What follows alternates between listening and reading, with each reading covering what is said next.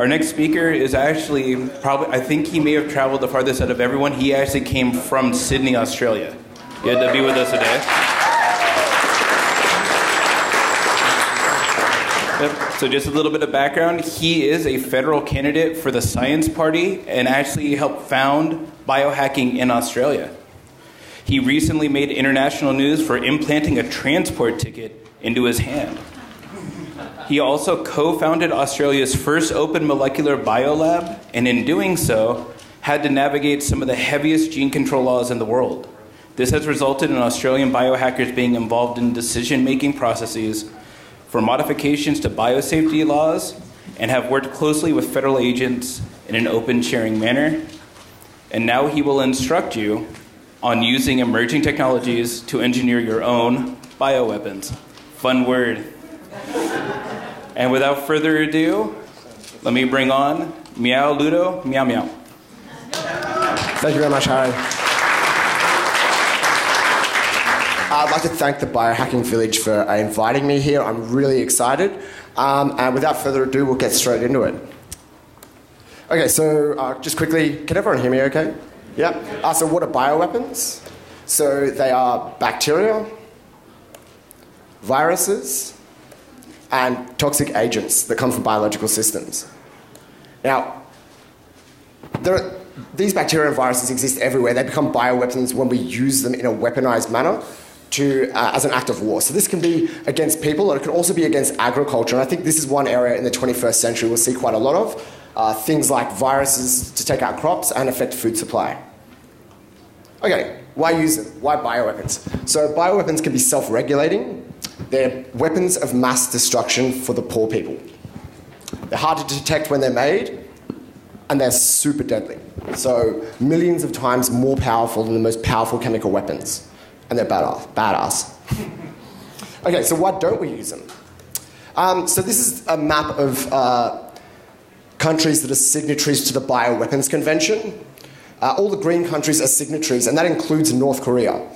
Um, the red countries are generally fourth world countries, third world countries, except for one notable exception, and that's Israel. Israel also has a biohacker space in it. So in there, they're not actually UN regulated to not make bioweapons, which I think is like pretty terrifying or exciting.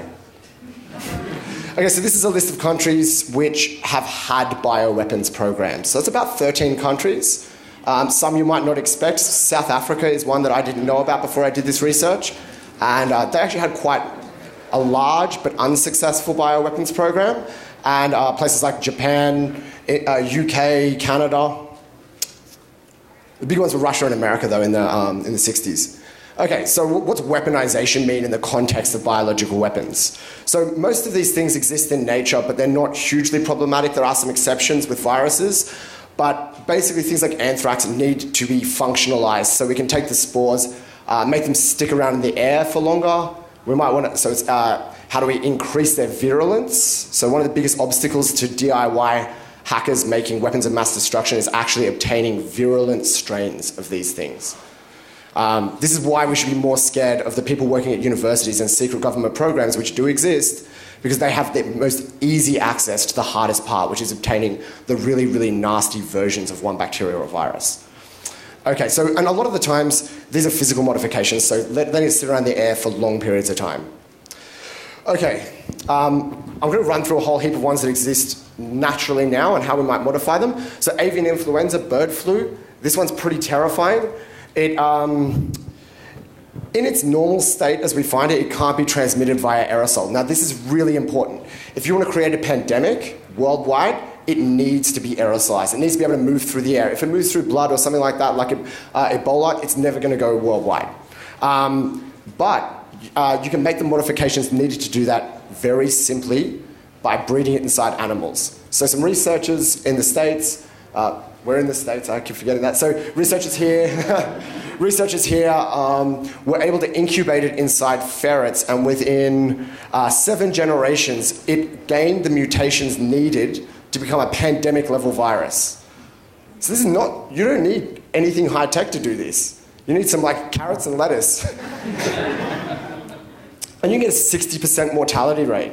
That's terrifying. Like we think about the flu as this thing that people just get, really quickly this thing can be out of control. Um, and it's, it's got a very small genome. This thing has eight genes.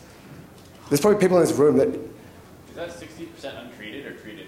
Ah, that's treated. Okay. Yeah, so, um, so it has a small genome, eight genes, um, and these can be put onto plasmids, so you can modularize the virus. Each part of the virus, which is very tiny and very effective, can be put onto plasmids, it can be remixed, and some, some researchers now are using emerging technology to do this thing. Uh, so avian influenza is bloody terrifying.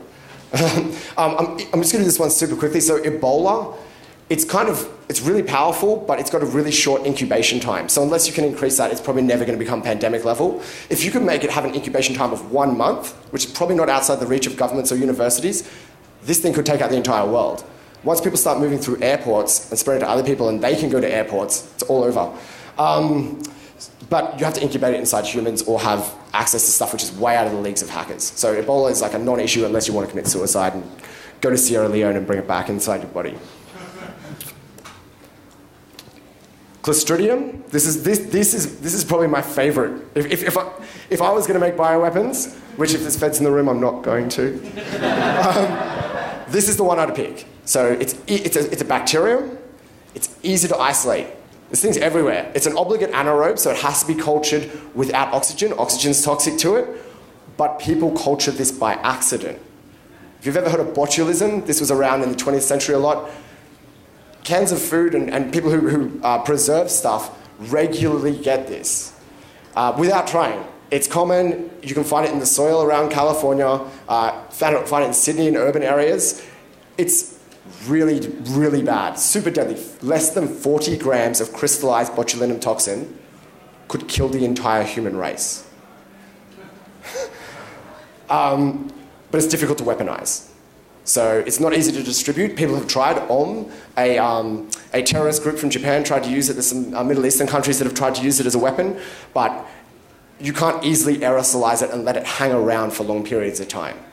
If that changed, though, this would be like number one bioweapon in the world. And until then, it's a bit difficult. But there is one other strategy you can use, and this is poisoning the well. So if you eat this toxin, it's, it's, it will kill you. Uh, if you have a drone and a gram of this, and you can fly that into a water catchment area and they don't have the right controls, which most of them don't. Like in Australia, we, have had natural biotoxins like Giardia in our water supply before. One gram could take out a million people, easy. This is what, this is what one of the uh, weapons manufacturing devices looks like. Uh, and if you, want to, if you want to grow this out, like this one's pretty easy. All this stuff is like you can get it off the shelf. You can get it from like online from, from places. The hardest bit to get is the, um, the antibiotics. Uh, it's an anaerobe. If you get a jar and one of those oxy- oxygen scavenging packets, it's very, very close to how we isolate anaerobes in the lab. Overnight, you can get exponential uh, amounts of it as well. So it's pr- pretty, pretty easy. Uh, anthrax, everybody's favorite. Uh, so this is a bacteria. It's easy to weaponize. So uh, basically, you grind it in with sand. It, there's, there's, I, I, went and had a look. It's very easy to find information about how to do this online. Um, this thing can just stay in the air forever once you get particles that are small enough, and it's difficult to isolate. This is the thing that makes it a poor choice of weapon for hackers. The specialized media, the petri dishes you need to grow it on, you have to put an ingredient in there called thallus acetate. Has anyone heard of this, just out of curiosity? Yeah, so it's the poisoner's poison. Um, that thing is probably more regulated than anthrax. so you're not going to bother trying to isolate it. Um, yeah, I, I, was like, is there a way around this? There's no way around it. You can't order it from China. You can't order it from anywhere where you're not going to be tracked. Um, if, and even if you do, bioterrorist groups that have tried to do this couldn't find strains that were going to kill anyone. It, took a, it takes a government level funding to get strains that do this. Um, the strain, and this is basically the evidence as to why every anthrax attack that's happened has been caused by a disgruntled academic in a bioweapons programs. Give them more funding.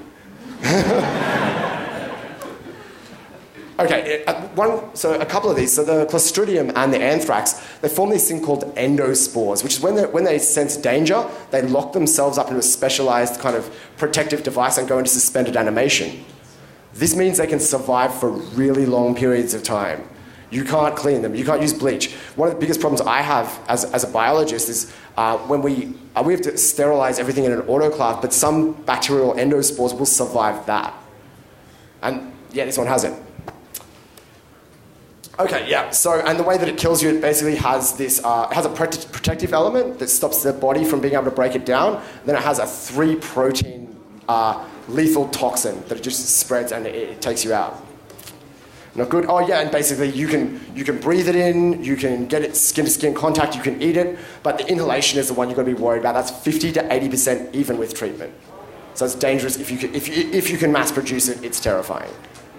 The thing is, on that note as well though, it's not really self-replicating. It's not going to like spread through populations or anything like that. It's like targeted. You drop it on a city or something like that. Unlike smallpox. Okay, so smallpox is really, really scary. It doesn't have a huge mortality rate, but um, you know, it, it's. I think I have some stats in the next slide about how, how, how much it kills. It's, it's really deadly. So it's got 186,000 base pair genome.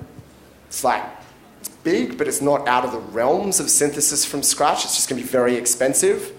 Um, and the highly vir- virulent uh, variola major, and one of the strands we were most worried about, is actually online in a database. So uh, you can just search small, smallpox genome, and the first two entries are the complete 186,000 base pairs. What's that? Yeah, that's what we're about to go into. So it's, it's linear double stranded DNA. This is important because this is easy to work with. RNA is a pain in the ass. Double stranded DNA, oh man, that's like, we've got lots of tools to deal with that. Um, one, of, one of them being CRISPR. So it's got 179, uh, about 187 open reading frames, like genes, um, with greater than 65 amino acids. So these are things that are, important for smallpox to do something. And most of them have a high correspondence with other proteins. So I, I don't know if many of you can see, there's um, variola here and vaccinia here. Vaccinia is the cowpox virus. This is what they immunize you against. US soldiers are still being immunized against this. They got started, it started again in 2002, I believe. So US perceives this as a threat. There's over 90% homology in proteins of over 150 of the genes between vaccinia and variola. Meaning, if you can get your hands on the vaccinia virus, you've got 90% of smallpox. And you can buy it for 450 bucks. uh, you do need some licenses and stuff like that, but a lot of people have access to this healthcare professionals, um, vets. Um, if, if you're working with animals where you may be exposed to, to, to certain viruses, you can get this. So that's like, I don't know what monitoring is on this, but it's not impossible to get it. Okay, and then when you get it, what do you need to do? Uh, so there's NCBI, it's a database of, of pretty much everything that's ever been sequenced. It's pretty easy to use, you can automate it. Um, once you, you find the differences between uh, the smallpox and vaccinia virus, you can then get DNA synthesized. IDT is monitored, but if you're ordering small sections which are, which are not um, obvious or are shared by a lot of different organisms, you can escape detection. We'll talk a little bit more about escaping detection in a sec. Um, so you can just type in the G's, T's, C's, and A's into a box, hit build, and then in three days you get the DNA ordered to your door. And then you can start correcting the errors in your vaccinia virus and making smallpox. Uh, you can, while you're working with the elements, you can put them into plasmids, which copy themselves, and you can make more. Uh, and this means you have a library of genetic elements in smallpox, and then you reach the slide. I actually copied this slide teaching uh, university students on how to do basic genetic engineering, but I thought the little uh, success flag at the end still held true for this speech. okay, and you can use bacteria as a way to make more virus. So they're, they're just DNA. You know, we talk a lot about whether viruses are alive or not. Bacteria are just a way for viruses to copy themselves, the way that we are just ways for sperm and eggs to copy themselves. So I think they're, they're well alive, and you can use them to do all of your work, uh, all of your copying work for you. Okay, and people are doing this. Um, the Guardian was ordering sections of the smallpox genome, and they weren't detected. They made some small modifications, but this is journalists that are, are thinking about this. So if they're thinking about it, terrorists are most definitely thinking about doing this. Um, I'll, I'll, make these slides available as well to anyone that might, uh, might be interested. And as Keone was talking about before, they just made horsepox. Oh, sorry, horsepox. Yes, they, they synthesized something that's basically as diff difficult as smallpox from scratch. This is researchers that have done this. But the methods they were using and the amount of money they had is, is not outside the realms of really dedicated terrorists or biohackers. So we, we know, we've got basic proof that we can make smallpox again. The researchers who did this work are reported to have gone through all appropriate national regulatory authorities. That's the thing which really terrified me. And there clearly needs to be an international component to these policies, and I'll talk about that in the regulations section. Uh, we're just going to zip through these slides because I'm running out of time. So, um, the baby boomers are obsessed with millennials killing everything. like killing the napkin industry, killing Blockbuster. So I thought uh, maybe we should turn it around. There's one more to go. So when we're, when we're looking for genetic, targeted genetic bioweapons, we're looking at exploiting difference. Turns out, across your lifetime, 10% of your DNA gets heavily methylated. It gets methylated. So it's actually one of the easiest things to target, but no one's worked out a way to weaponize that yet. But if they do, uh, it could fix the economy and give me a chance to buy a house one day. Okay, so uh, this is this this quickly is uh, gene drives as a bioweapon. Uh, I'm not going to go through the mechanisms of how it goes, but basically, when you put a gene drive in, it, increases the chance it gets selected by copying itself to another genome. Uh, how do you use this as a weapon? Fun stuff. So if you can get access to an IVF clinic and infect 10,000 people, within 16 generations, that allele becomes 100% dominant in the population. It's slow, but it's effective. So for ethnic cleansing, if you have someone of like, I don't know, like a redhead, a ginger, you don't like them because they don't have souls or something like that, um, you can go in and, and, and if, if, like you couldn't do this as a hacker. You could do it as, as, as a government though. Um, you can implant genes that will copy themselves across and by the time anyone knows it's too late. So it's already so spread in the population you can't undo what's happened. Um, especially if there's, if there's groups with isolated genetic diversity. So if there's a group of uh, indigenous people, for example, that might not breed heavily outside their thing, it increases the chances you could use a gene drive as a weapon.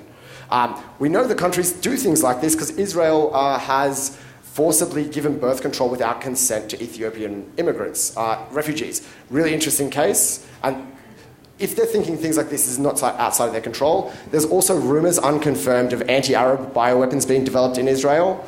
The reason I don't think you can make one is because Israel hasn't released one. Um, in South Africa, there's rumors of an anti, anti-black person bioweapon in development. That, that, their, their bioweapons program's shut down now. The problem, though, is that humans are only 0.4% different from each other. It's, it's almost impossible to make it targeted enough that you won't have collateral damage. Okay, so I'm just going to quickly run through. Oh, the easiest bioweapon of all, though, is vaccination plus malicious attack. We can modulate our immune systems really easily. That means we can protect ourselves. So with smallpox, if we immunized ourselves and then released that into a place that we didn't want, uh, didn't want ha- to have people, we would be protected against it. And I think this is the, one of the easiest routes. We can make vaccines real easy. Okay, uh, regulation. So uh, I can order DNA really easily online.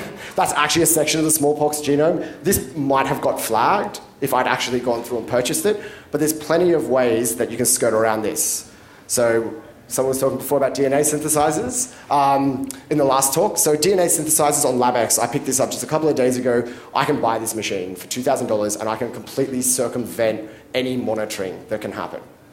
Uh, I know that this happens. Plenty of hackers get turned down by companies like IDT uh, to get their DNA made, so they have to find alternate sources, and there's plenty of people happy to make you DNA for money. They don't even ask what you're making. um, and there's, we're, we're, moving towards this, which is completely integrated desktop environment uh, where you have a closed loop system. No one can, you don't ever have to contact anyone. You can synthesize your own DNA, you can sequence your own DNA. Um, there's microfluidic tools around now that you can do this with. This is actually a microfluidic lab that people are building. It's only in academia at the moment, but I've got like plans to make a DNA synthesizer in my inbox from a guy at university who sent them to me. It cost me about $10,000, but I wouldn't have to tell anyone. Um, So my recommendations for regulation are actually to monitor this chemical. So this is the precursor to DNA. Um, it's expensive, it's hard to make, and it's completely necessary if you want to have any kind of workflow. So even, even in isolation and things like this, you're going to need to access this at some point. If you can monitor worldwide the traffic of this chemical, you know who has who, who is interested or is making things with DNA. From there, you can monitor even uh, more, like are they likely to be a bioterrorist? You also don't have to implement any regulation. I think this is important.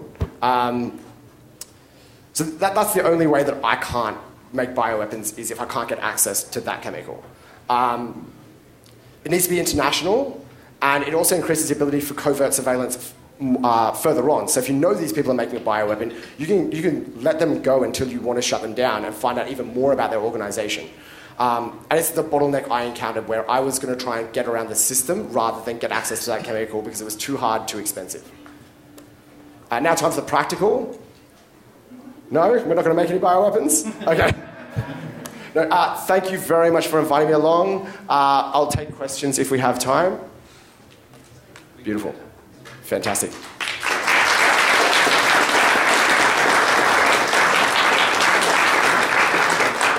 If you do have questions, uh, please come to the mic.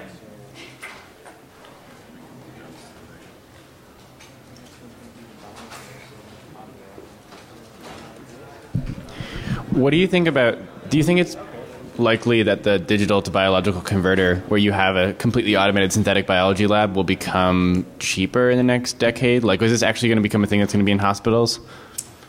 Yeah, I, th- I, think we'll see it. Like DNA synthesis, we were talking before, is exactly where it's at. That's the next big thing that we're, we're looking at. We're seeing companies come out of IndieBio that are doing things like long term DNA storage on DNA. DNA synthesis is quick. If you have the machines, it's cheap, yep. but the infrastructure is hard, like actually getting the machine or building the machine. No hackers have built a DIY gene synthesis yet. Okay. But it will happen very but, soon. But I mean, Craig Ventures' company made a the the synthetic biology lab automated thing where you could produce a phage without having to touch a lab, and that's yeah. that, like that's the technology that to me seems crazy. Definitely, and um, if if you have access to DNA synthesizers, you can do this type of stuff. Okay. And I, I, think you'll see, especially with personalized medicine and things, you, will be able to print off DNA in, in a GP's clinic or something like that pretty easily.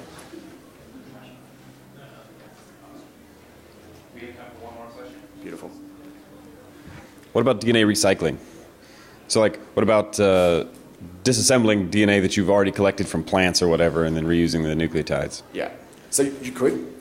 Um, I, like, I looked at all, man, you can do all sorts of sorts of stuff in this space. Like, if you really want to do it, no one can stop you. Like, there's Ebola elements of the human genome you can pull out. So, like, um, but yeah, re- recycling would be it. The, the, hardest. So you can go and rip out individual sections of other things. You're still going to need primers because even with the nucleotides, unless you can put them together in an ordered way. Yeah. So you need to modify the nucleotides to make them phosphoramidites, and it's hard and expensive. This is why it's a good bottleneck, right? Like there's no way around it. At some point, you're either going to have to learn chemistry. No, thank you. And I, I took this to a chemist and said, "How hard is this?" He's like, "Just buy it from China." So, yeah. Okay. Uh, thank you very much, guys. I'll be around a little bit if anyone wants to speak to me afterwards.